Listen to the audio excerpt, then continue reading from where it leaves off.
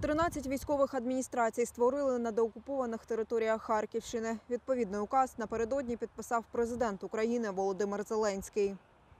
Міські військові адміністрації з'явилися у Чугуєві, Дергачах, Ізюмі та Балаклії. Селищні та сільські військові адміністрації утворили у Малинівці, Циркунах, Рогані, Липцях, Вільхівці, Великому Бурлуці, Осколі, Боровій та Золочеві.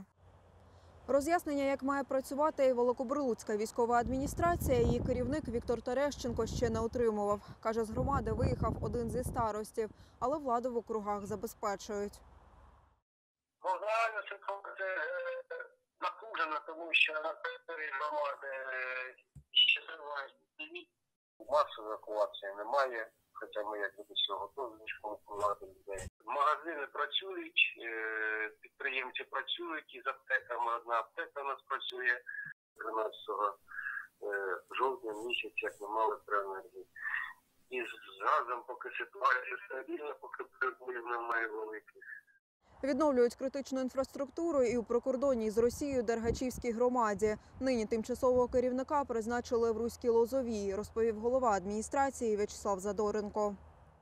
представник міської влади, скажімо так, направлений до Русько-Лозової для того, щоб він поки що тимчасово виконував там роботу старости. Староста був під окупацією, потім виїздив на територію європейської країни, зателефонував, що він знаходиться в Німеччині, планує повернутися до нашої громади. Керівників таких військових адміністрацій призначають без конкурсу, а сесії у радах скасують.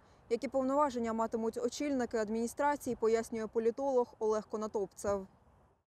Тепер одноосібна, оцей голова військової адміністрації е, самочинно приймає ті рішення, які приймала Рада. Приймати акти без оприлюднення проєктів, відслідковування результативності, велика кількість е, призначених начальників оцих ось військових адміністрацій, це є колишні голови територіальних громад, свідчить про те, що ну принаймні в нашій області намагаються е, зберегти певну кадрову стабільність у цих органах управління. На сьогодні в окупації лишається близько 4% території Харківщини. Як повідомила речниця військової обладміністрації Олена Шаповал, це 77 населених пунктів.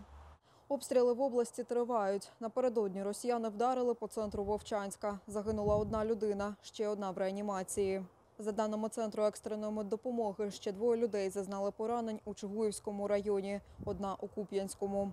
Голова військової обладміністрації Олег Синігубов повідомив, минулої доби російські війська обстрілювали населені пункти вздовж лінії зіткнення.